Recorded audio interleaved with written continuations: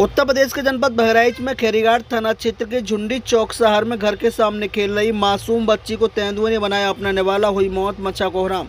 लगातार हो रहे हमले, खबर है कि खेरीघाट थाना क्षेत्र के अंतर्गत झुंडी चौक शहर में गुरुवार दोपहर राम प्रताप के दस वर्षीय मासूम बच्ची रामबेटी गाँव निवासी मिथिलेश यादव के दरवाजे पर खेल रही थी, तभी अचानक तेंदुए ने हमला कर मासूम को गन्ने के खेत में लेकर चला गया। ग्रामीण जब तक मासूम को बचाने का प्रयास करते, उससे पहले मासूम को तेंदुए ने मौत की नींद सुला दिया घटना के बाद इलाके में हड़कम मच गया। ग्रामीणों की सूचना पर पुलिस सहित वन विभाग की टीम मौके पर पहुँची खैरीगढ़ थाना अध्यक्ष संजय कुमार सिंह ने फोर्स के साथ तेंदुए की तलाश शुरू कर दी। Bureau report Pankaj Singh, Bahraich, UP.